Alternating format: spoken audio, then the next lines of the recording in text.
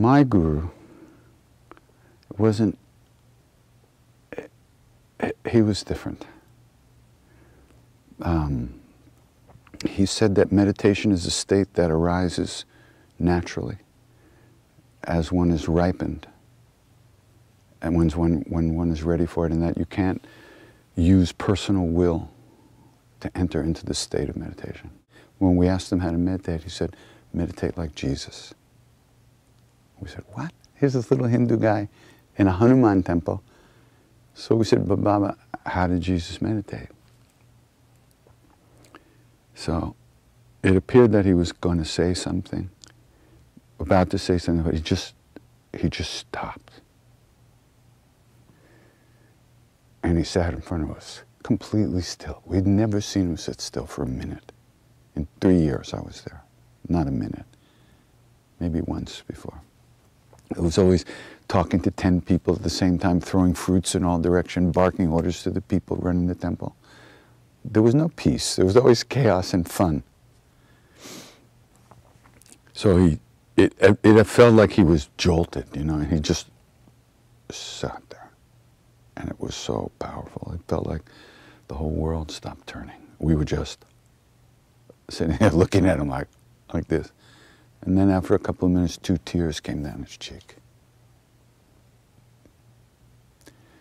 And he kind of shook himself and he opened his eyes. He says, he lost himself in love. That's how he meditated. He lost himself in love. He's one with all beings.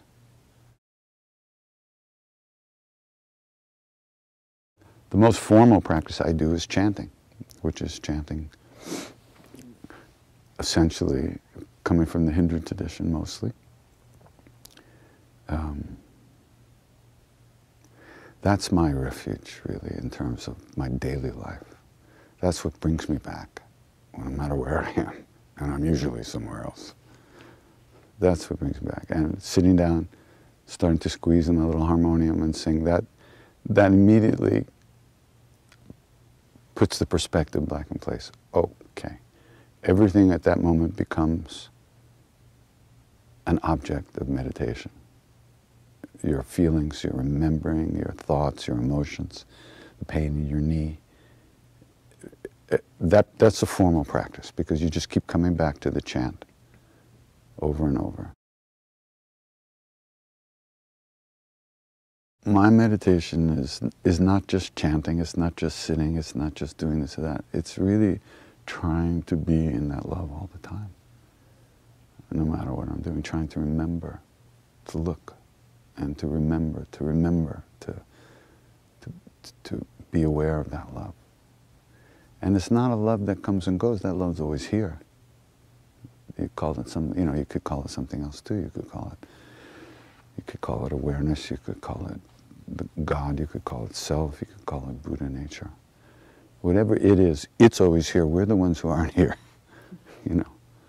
So that's the refuge for me, is being, trying to remember to be in that love all the time.